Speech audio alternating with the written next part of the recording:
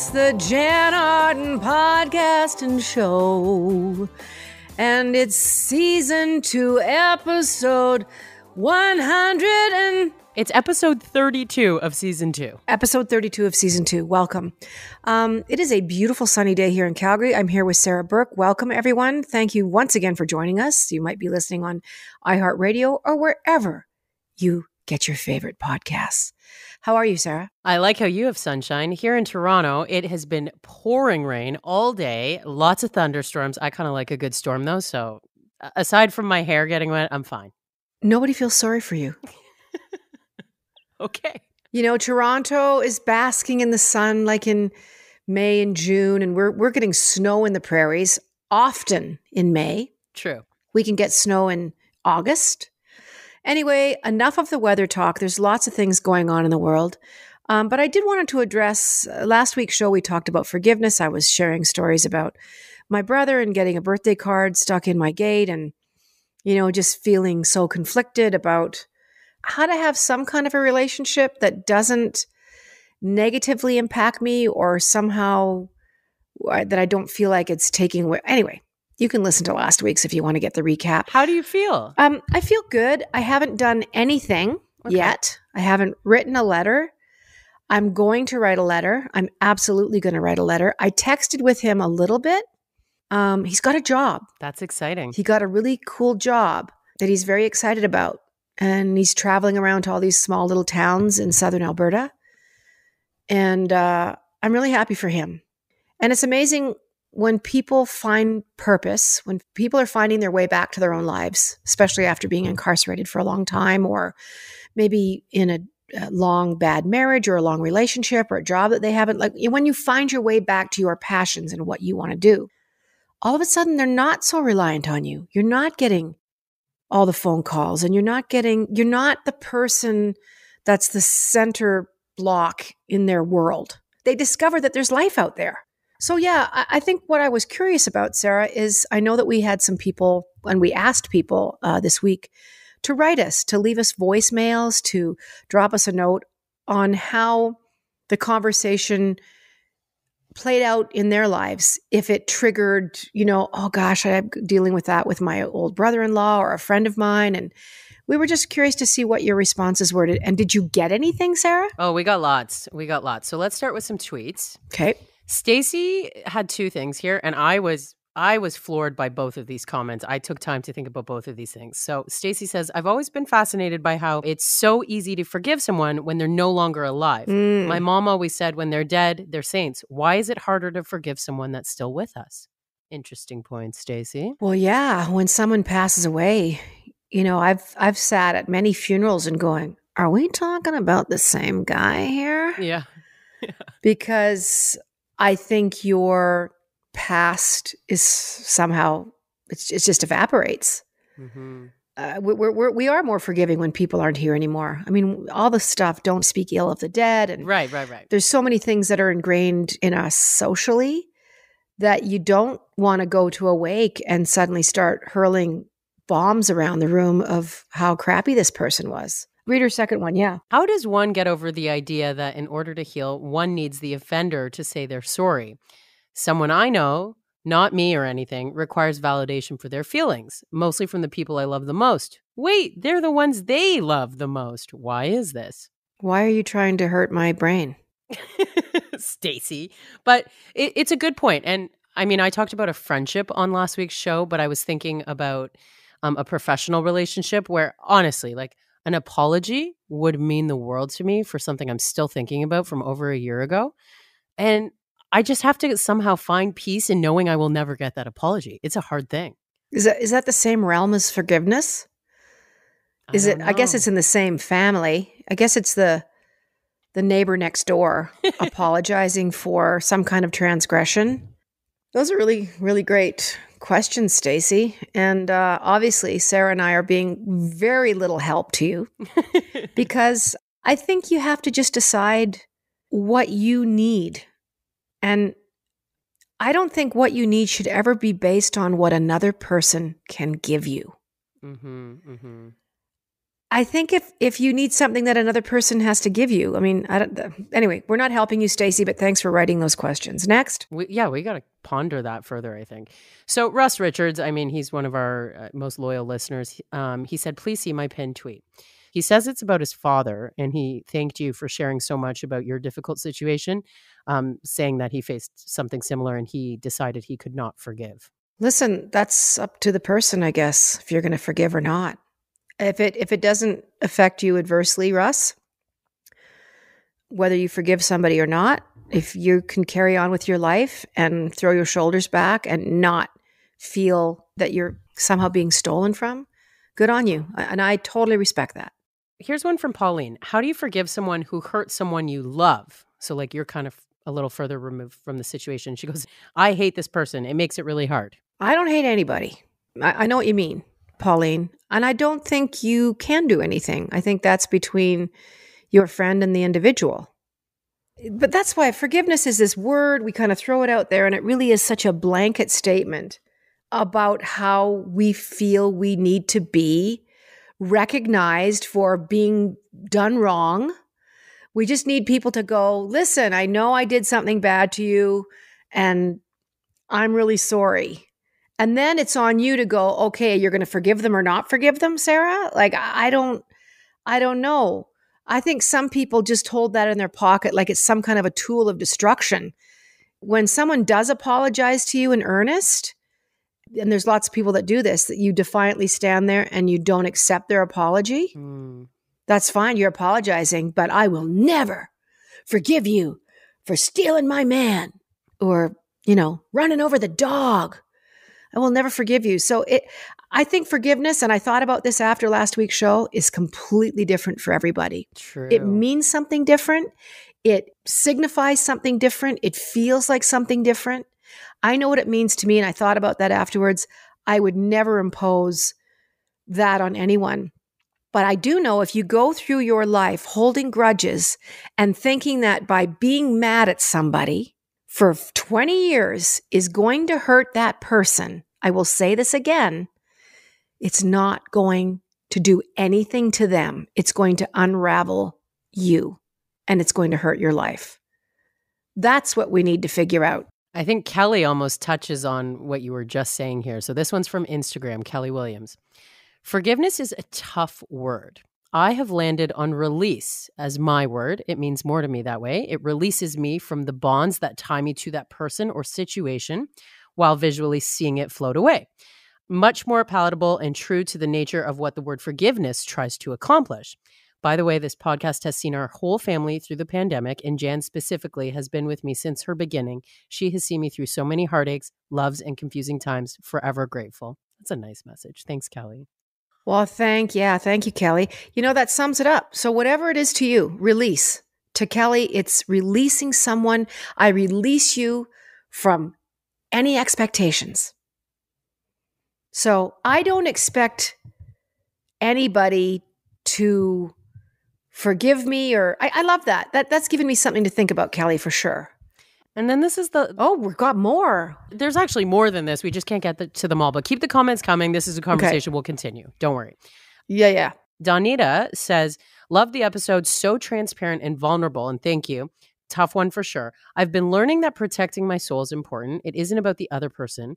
It isn't my place to take on and wear their stuff. Lord knows I have enough of my own. It's my choice to speak my own truth from a clean place and then to let it go. I actually let a helium balloon go one time to watch the energy just float into the sky. So maybe it's not a letter for you, maybe it's a balloon. Well, let's please not make it balloons. Oh yes, for the environment. Yeah, they're not good for the environment, but I get it. Yeah. It, metaphorically. Yes. You know, a lot of people will write things onto a piece of paper, you know, at a bonfire in their backyard, and they will burn the things that they don't want in their lives. Mm-hmm. That's a better way for and, the environment. yeah, and you know, you just write it down, you throw it in the fire, and it's done with. I think when you stay in the moment and live in the moment, you have a better chance of not living looking over your shoulder all the time and especially with yourself. For me, what that conversation triggered with you last week was I'm responsible for how I go about my day and and I'm responsible for what I choose to carry. And Kelly touched on that. I am responsible for how I react to how people treat me. I am responsible. So when you put the onus on other people, like I was saying earlier, if you expect to get better or feel better or feel recognized by what other people are going to give you, then you're missing the point because it's all inside of you. I know easier said than done. It sounds really esoteric and kind of like I sleep under a pyramid and and you know have an oxygen tank beside my bed and like chew on rainbows, but it really is all about how you perceive yourself and what you expect from other people. And if they don't, if other people aren't giving you what you need, walk on. The response to this show last week, to the podcast last week, has just been overwhelming. And and we've still got messages that we want to read for you. We think it warrants us exploring because a lot of you you want to be heard. Did we get any voicemail, Sarah? I love how Jann's calling it voicemail. It's a voice note. it's a voice note. It's a voice note. You just wait till you're 41. so I, I, want I want listeners to know that they can send us like their voice. You know, the same way in your iPhone you can send a voice note and a text yeah. message. You can do that in yeah. Instagram. So open at Jann Arden Pod open a message. There's a little microphone that you can like send us your voice telling a story. Our very first voice note on this topic is Sarah, Sarah with an H. I'm just going to play it for us, okay? Okay. Hi, Sarah and Jann. My name is also Sarah with an H, the only true way to spell it. I loved your talk on forgiveness, and I wanted to say that I've been reflecting on how forgiveness doesn't always mean that you make up with the person and everything's okay and you carry on having a relationship. Sometimes it's just accepting that whatever's going on with that person, whatever that person did or didn't do, doesn't really have anything to do with you and letting them move on with their life and you move on with your life and just kind of wishing them the best. And yeah, how it's not always so warm and fuzzy but forgiveness is it still exists even if it's just you know you going your own separate ways. So that was my thought. And thank you for sharing both of your stories. I think it's so true. Really good point sarah with an h which is the only way to spell it i think at the end of the day you just want peace. You don't you don't want to live i don't want to live with angst. And my whole point about my talking about my brother last week is it bothers me a lot. It keeps me up at night thinking about how I can do it differently, react differently, how I can just find a place where it's a soft place for him and for me, that it's without contention. That's what I'm struggling with. I just don't quite know how to facilitate that. You know, we talked about writing a letter that you may or may not ever send, but I got to deal with it. I got to sort it out. Now, if, if, you can go through your life and things don't bother you, they don't keep you up, that you don't give a crap, that's good too. That you, that you don't, you know, if it, if things don't bother you, if there's people out there that you've had battles with or fights with or an old workmate or whatever, but I know for a fact I have friends that are divorced that are to this day, and this is like 20 years later, are so bitter and still talking shit uh. about the guy or the woman. And they're still talking shit about it. And every time you go for coffee or get together, I, I have a, an old friend from school, and I literally don't spend very much time with her because I cannot take the gossip. I can't, I just can't listen to it. And so I've just backed up, backed up, less phone calls, less everything. It's like a dark cloud, right? That follows you around but, and then yeah. it starts impacting your other relationships. But everybody's done her wrong. And I hear the same story. So I don't want to inundate people with the same story about my brother and you know, what should I do about it? I need to be proactive. It's only been a week, and I hope that next week, when we're speaking, that I can tell you guys that yes, I have written a letter. I'm actually going to be going away but we'll be doing the podcast. My computer and my mic is coming with me. Everything's coming with me. Um, we actually might be doing the podcast from Iceland next week. So that'll be interesting. So, so I think cool. we'll concentrate, yeah, more on that next week. But yeah, so thank you. Thank you for writing that, Sarah. I get it. It's it's really important. Obviously a big topic for us. I didn't expect to have the kind of response that we did have, but yeah, I'm glad it's it's opened some doors and some windows for all of us to think about what it is and what it means. I got one more here from Sheila. Let's see what you think. Let's do it. When I listened to Jann talk about her brother, it really brought home how I had to put distance between my sister and myself when our parents were sick. Uh, parents being sick is so hard. Dad with cancer, at the same time, mom with Alzheimer's. God. My sister would not deal with it. So between my husband and I, we became their POAs, their caregivers, even though we lived in Calgary, dad in Saskatoon, mom in Ottawa. I had to eventually move mom to Calgary with her Alzheimer's, even though more family in Regina and only me and my husband were in Calgary. It took about a year after mom's passing, my sister and I started connecting more. It's not a close relationship, but I had to let the anger go and move on as a family. But I could not deal with her while they were alive as it made me angry. She never ever said sorry to me in her total hands off approach. You know, in this case, Sheila, if I'm being honest, like I want her to thank you. You know what I mean? Like for her to acknowledge all the work you did. Yeah. Um, she says, I have not totally forgiven her, but we moved on. We are family. We love each other. And, you know, it's better for our nieces and nephews if we proceed this way. She makes a good point. You have to consider the people around you. You know, especially if you're not forgiving a partner or a sister with with a situation like that when your kids are involved, so they miss out on their aunt, they miss out on that relationship. Your crap shouldn't affect other people. Like you at some point do have to decide to lay down your arms and and move on. And I'm glad they're finding their way back. And I think I can do that with with my brother. My sister just had her wedding shower and I got something that kind of goes with this conversation here. You want to hear? What? I thought you were an only child. yeah, we've gone over this. we've gone over this. There's going to be lots of stories about my sister over the next few months because, uh, yeah, it's just the two of us. Okay, I can't wait. She's getting hitched. So, on my dad's side of the family, there's seven siblings. Okay, so big family, and there's three girls. Mm-hmm. My dad is very close with two of the sisters. One of them not so much. So they're all invited to the shower, of course. I'm sitting there catching up with everyone and and whatever. At one point, when the aunt who threw the shower for my sister came down to where this particular aunt was sitting to say hi to everyone. Mm-hmm. She turned her back physically because of a grudge. Your family's going to be listening to this. I would love for this aunt to hear that because at a at a, an event where you're celebrating something by turning your back on your sister, look at how it affects the other things going on in your life. Yes, that's what I'm telling you. You got to think right. how it's not just me. It's now it's your sister's freaking little gathering. Yeah, It's supposed to be a happy time to celebrate her nuptials.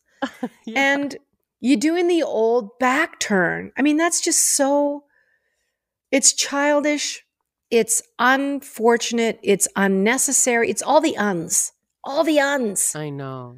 Unkind. It tells you though that there's something going on inside that made her uncomfortable in that moment. Will they ever sort it out? Or is this going to be 25 effing years of this? Of turning your back, of ignoring. Ugh.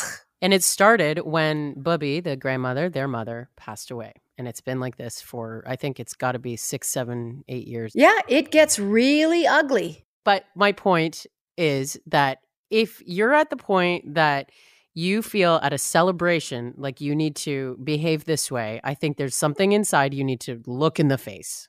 Well, I'll tell you right now no matter what has transpired between my brother and I, I would never be in a room with him and do that. So shame on you. It's it's just not right. Grow up, Mm-hmm. be cordial, and act like a responsible human being. I would go up to my brother and give him a big hug.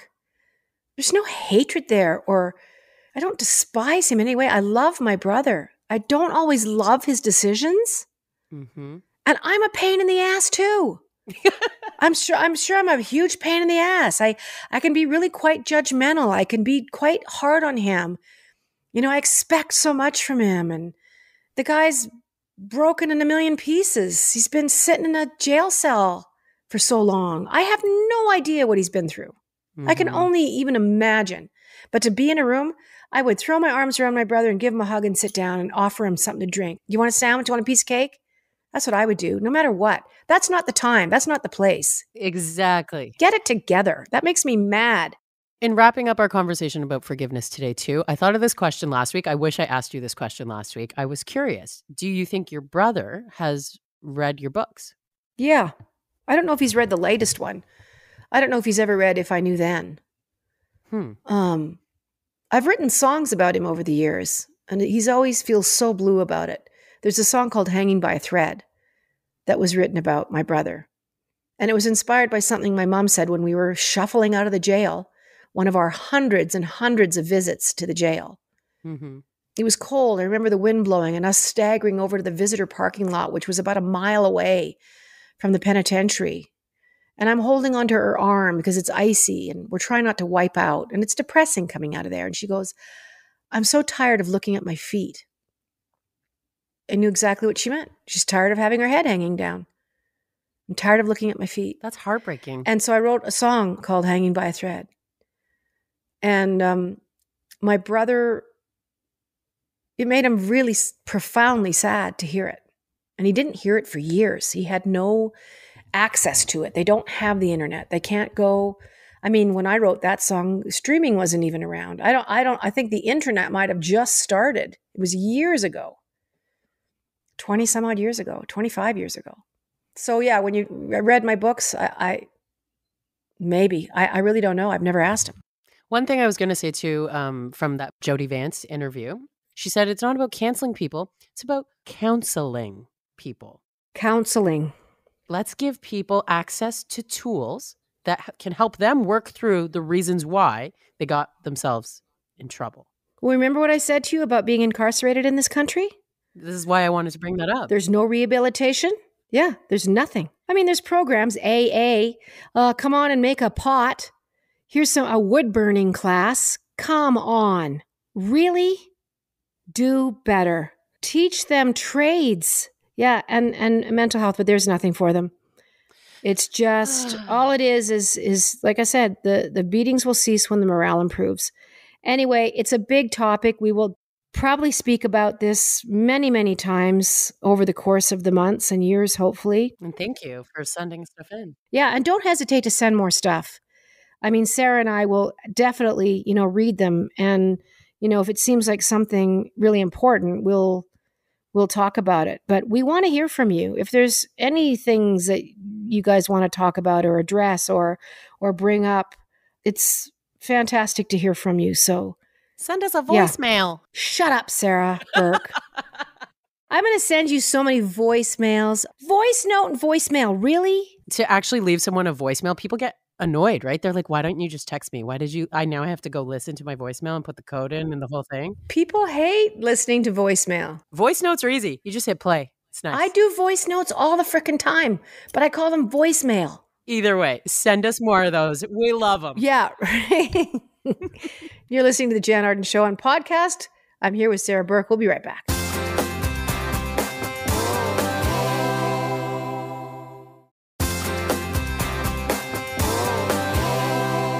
Welcome back to the Jann Arden podcast and show. I'm here with Sarah Burke. I'm in Calgary. She's in Toronto. Trump just got indicted. I know we don't talk a lot about politics on this show, but I saw a very interesting Washington Post article this morning. It was an interesting angle because I really don't care what the guy does or what happens to him. I, I just, I really don't care on a lot of level. I don't understand half of the indictments and what they're about. I don't know a lot about it. I'm going to tell you honestly right now. Anyway, this article was interesting because a, a guy from that Washington Post had an interesting angle, and he was talking about anonymous sources that did not want to be named that were with Trump all the time said the guy was absolutely freaking out, panicked, irritable, anxious, didn't have an appetite. And I guess for him, that's like, oh, if he can't, you know, eat a chicken filet burger and He wasn't golfing the way he normally does. Oh, maybe, yeah. But he's just panic stricken. He's got something like 31 lawyers and he's constantly on the phone, constantly. I guess he's got like five phones going and asking them, you know, what can they do to me? And, you know, is this real? And it's nonstop. Like he's very, very frightened. And then he stands out, you know, on his rallies. He got back to I call it Mariposa, but it's not Mariposa. Mar-a-Lago? Yes, I'm just kidding you. That's the one. Mar- Mar-a-Lago. And uh, he gets back to Marigold and he, you know, shakes his fist in the air, defiant, like this is, you know, the bad fake news press. And behind the scenes, like as soon as that camera is out of his face, he's not sleeping. He's really concerned about something happening to him. Hmm. You know, I don't know. What's so interesting too about this is even the deflection that we're seeing in those news stories right now like oh suddenly um, St- stormy daniels he's going after like you got to pay all my lawyer fees all of a sudden right and it's like mm, there's a couple other major things happening at the moment that you might want to take care of first maybe it's classic deflection Oh gosh, he'll bring up everything, but it's it's just so interesting how narcissists operate. It's all smoke and mirrors. It really is all pomp and very little circumstance, as my father used to say. He lies so much. The, the Washington Post article cited in his little speech to his followers, I guess you could call them followers. He said if they weren't outright lies, simply unfactual, he said that the, the shards of truth were so exaggerated that it's just so hard as a journalist to sit there and watch it unfold. And I wonder how is it that we're all so gullible? Not all, obviously the country's still very split, but here's a guy who's indicted who's now trying to rev up support for a third swipe at the American presidency. and in similar fashion to the way that he rallied up people for that january 6th event Well, the, the judge warned him to say nothing that would incite any kind of ire or, you know, put people up in a flap. He was flat out warned. He said, if you do that, there's going to be dire consequences. But as soon as he got back to his place there in Florida, the vitriol that he was throwing at the judge, the judge's daughter, the disparaging thing he was saying about her, about his family, personal attacks and I'm thinking, does the guy not even see how petulant and how childlike? It's very hard to watch as a I consider myself somewhat sane most days. It's hard to watch anyone like him and it's not just him anymore. There's a lot of men and women on the far right that are finding themselves in position of power globally. mm-hmm. But just to watch somebody like this do their thing. What's the guy now? 75 years old? 74 years old? I don't even know. Let's look that up. I'm not sure how old he is now. Donald Trump. Uh, let's see. 76. 76. But how determined people are to believe that racism is acceptable, that misogyny is acceptable, you know, that that kind of hate speech is acceptable. Anyway, I just wanted to touch on that. It really, really blows my mind, Sarah. What we're watching unfold, it's so much more than just a former president of the United States of America. Like this person has built an entire narrative, an entire storyline. Um, if you're someone in Canada who says, "Oh, this hasn't really impacted us," I'm sorry, but it it, it, it does. And we've we've seen how we've changed. We've seen it change. There's no doubt. I, I recently watched the story um, that your, I think she's a, a good friend of yours, Jody Vance. Mhm. Um, I was watching some of her story on CBC, and she was talking about you know online hate. Oh yeah. She had a stalker for years. Yeah, I've been seeing coverage kind of like across the country over the last two weeks with her. And um, in her story, she said that all of this started around the time that he became president. And no, she's not pointing her finger at him and saying, this is the reason why this happened to me. But it opened a box. There's no doubt that it plays into the collective narrative that we have seen. And it's not just in the US, it's in Canada too, for sure. Oh, it has. It's that Pandora's box. Uh, the lid came up. You know, even if you want to talk about the convoy truckers, there's still small rallies that happen in downtown Calgary and Edmonton in Alberta, which is kind of, I think, ground zero for this stuff. Although it happened obviously in in Ottawa too, but I think a lot of them went there from here. You know, calling out uh, any kind of journalists just as liars and and you know that they're falsifying everything and changing their words and whenever they were asked questions they were just questions that no one could answer it, i don't know it's just a weird thing and you're right it it's just a twist yeah something has just happened to how we communicate how media is being used and mm-hmm. as far mm-hmm. as i'm concerned journalism is you know they're on that the edge of of how democracy holds itself together that people are able to go out there and report on stories and give their viewpoints and collect facts and present them to people to make their own judgment but they've just been called out as liars so much and anyway it's it's a little disheartening to watch this unfold and there's so much hate on both sides of it the people that have been waiting for the last 4 years for him to be indicted for something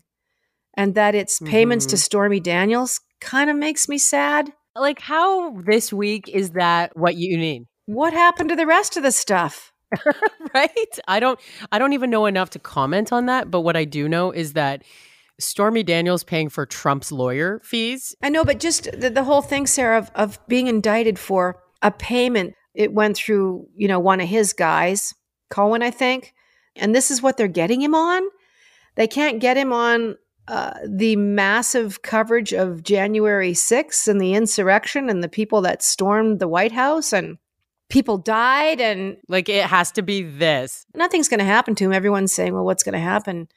The guy's not going to go to jail. They're calling him Teflon Don.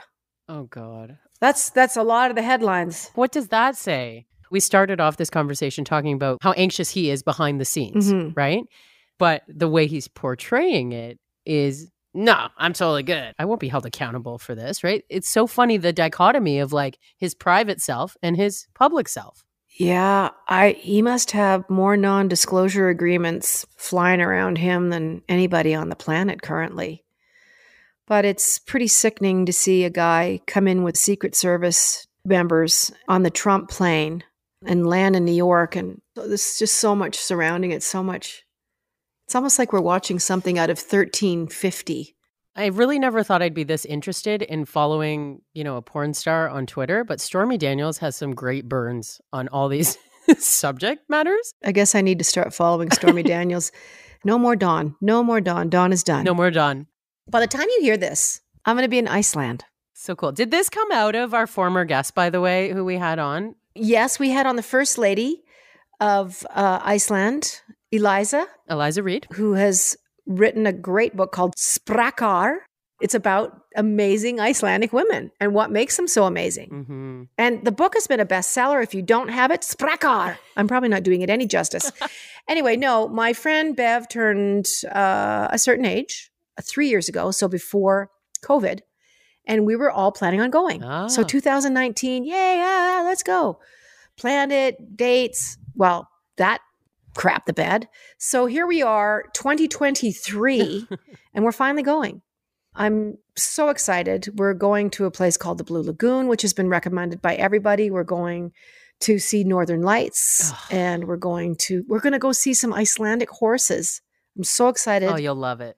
To see Icelandic ponies. By the way, just a really quick update on the horse shit campaign.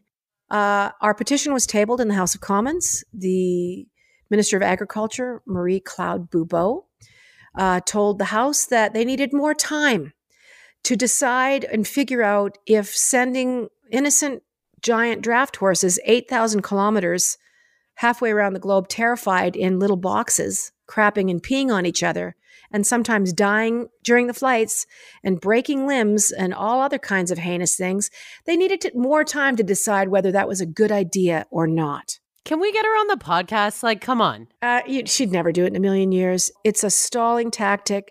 It is so, you can see it coming from a million miles away with any government. This country just goes conservative, liberal, conservative, liberal, conservative, liberal. They, you know, just long enough. Oh, we hate the conservatives. Let's vote liberal. Oh, we hate the liberals. Let's vote. It's such a, I get so sick of it. So shut up, everybody it wouldn't matter who was sitting there. When they make promises, no one holds them accountable, but we are going to be persistent. We're going to be consistent. New website. The horseshit.ca website is being given a, a new look. It's going to be easier to make donations, easier to buy merch, and to help us. But we're not going to give up. This kind of legislation takes a long time. So we've been fighting for this. Well, gosh, the ladies that have been with the Canadian Horse Defense Coalition, they've been fighting since 2006 to end this. Oh, So kudos to Lisa Pitts, who passed away before she saw this, you know, come to fruition. Seneca and Lonnie, and just a shout out to Rebecca, two Rebeccas, uh, of all the people that have been working on this for a long time. how many people are there? Probably, I mean, Wendy Williams Watt, who leads the campaign. It's her marketing genius that has really brought the horses into light. We're getting mainstream media because of her campaigning genius and her marketing genius. And she's got uh, a company called Together Heads working at a fevered pitch to get all this stuff done. We've got new items coming up for sale. I can I can probably say it now. We've actually got some really cool thousand piece puzzles that are of me and horses. They're going to be they're, they're so cool. I love a good puzzle. Yeah, so they're going to be on the site soon. I think we're going to have pre-sales up eh, before you know it. But anyway, thanks to Wendy and her team. William, I think, is leading up a department. Madison, uh, the other people that they've got there. So you know, there's thousands and thousands of us that are part of this. Hundreds of thousands of Canadians. Uh, they say for every person that signs a petition, there's a hundred thousand that think about it but don't ever do it. You know, we had 80,000 signatures on the first one. And then, of course, uh, Justin called an election. So that went out the window. The second time around, people misunderstood. They're like, I've already signed the petition, I've already done it. But I know this is a different one. This is a new one. We got almost 40,000 on that. So when you think about having, you know, 400,000 people that would have signed it, anyhow, that's where we're at with that.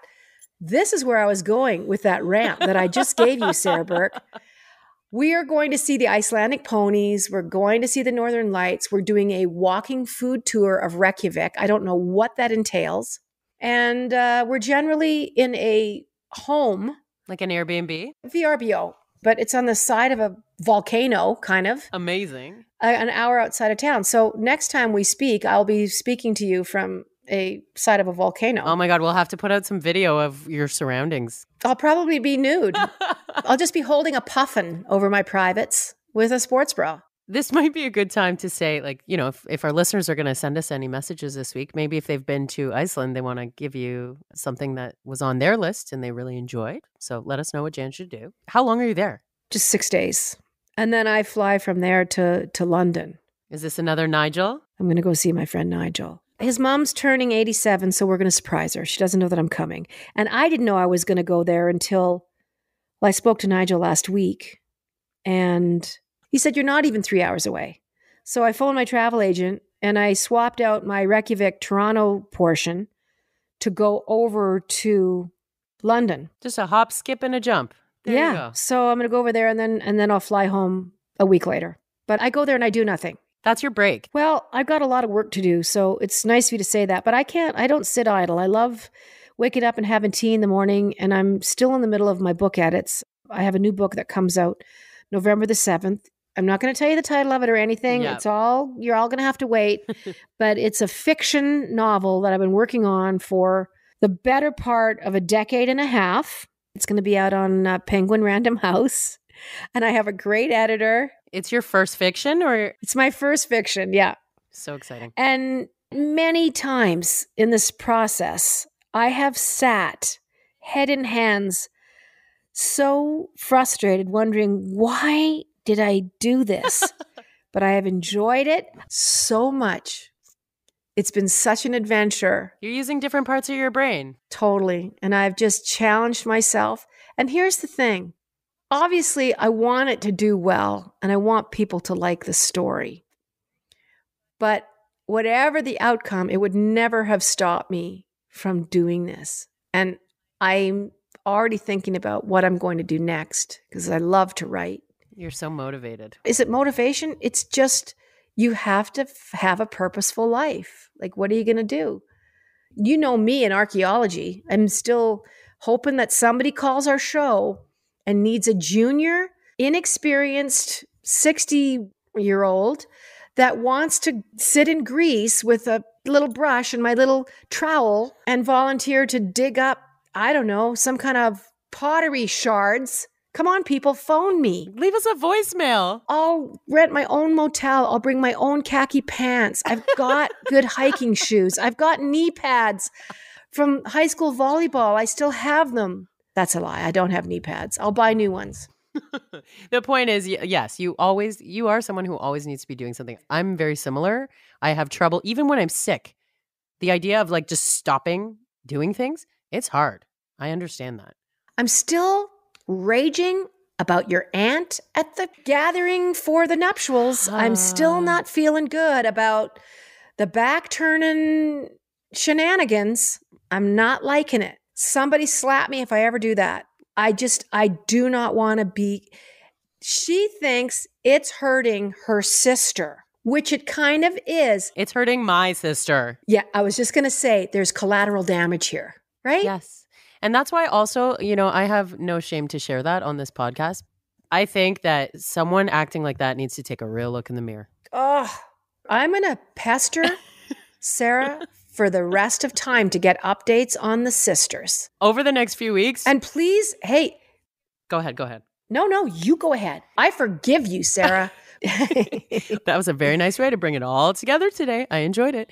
Yeah, um, here we go. We're pros. We're moving into the the Bachelorette in the coming weeks. Jesus. Already, I'm losing my mind with the maid of honor. Are you the maid of honor? No, no, I'm not. So I'm dealing with the maid of honor oh. for some of the things. And this woman has assigned people rooms in an Airbnb. There's door tags. It's kind of cute.